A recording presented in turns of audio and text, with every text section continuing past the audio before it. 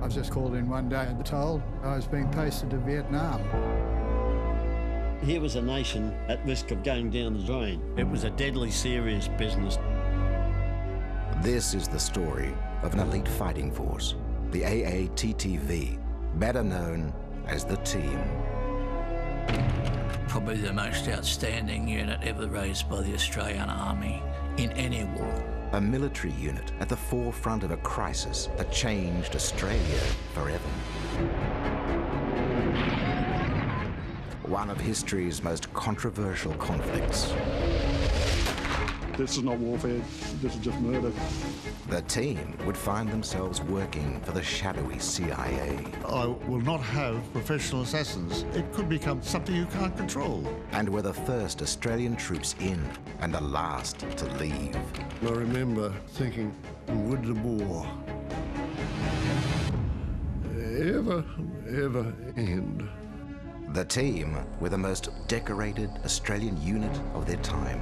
They fought a unique war alongside South Vietnamese. Uh, I was probably a racist when I first went to uh, Vietnam. I really didn't respect the people. But members of the team would go on to form bonds with their Vietnamese soldiers, unlike any other unit. They called me their brother. Whatever they did or did, I was just one of them. They would have died rather than, than leave me. Brother and brother fighting together.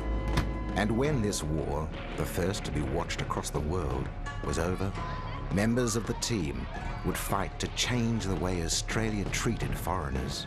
I became very involved in resettlement of Vietnamese refugees. Qua đây thì tôi gặp lại những bạn bè cũ của tôi đầy đủ hết. I couldn't, couldn't not do something about it.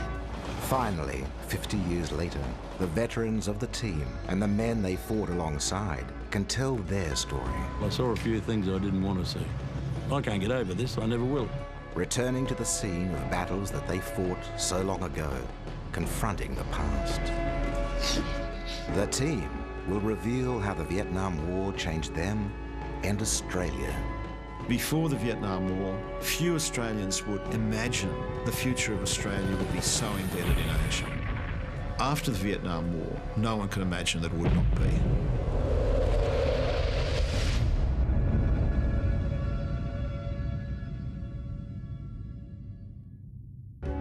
The training is designed to get as close as possible to the actual battle conditions that the fellows will be facing when they leave. It is typical guerrilla warfare, typical jungle warfare, something upon which we are experts and we can make a real contribution in this field. I think those of us who served with the training team feel that uh, we were a, a special group of people. I do believe that counterinsurgency advisors are the best way to do it. At first, they would just be training the South Vietnamese. But before long, they too would have to fight.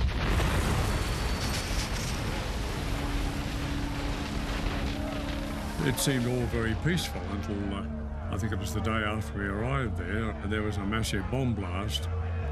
Guerrilla attacks in South Vietnam had become commonplace. Nhất là biết ơn những người, những bà bạn ở Úc, những người lính Úc đã tham chiến bên Việt Nam đã giúp chúng tôi đánh chống lại à, sự xâm lăng của Việt Cộng. Tôi thương những cái người cổ vấn của tôi lắm.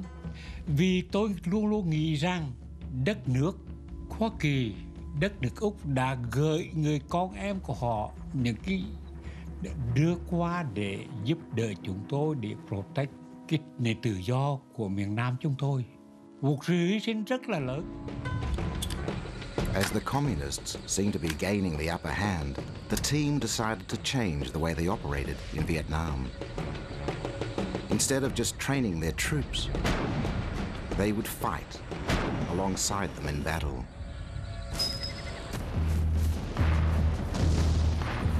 The Viet Cong were proving themselves to be brutal masters of guerrilla warfare. Now that the team had to join their soldiers out on patrol, they would bear witness to the horror of Viet Cong terror tactics. One village we came to, they'd been through before us. They got the village headman. First, they disemboweled him while he's still alive, mark you. And then, when they'd done all that,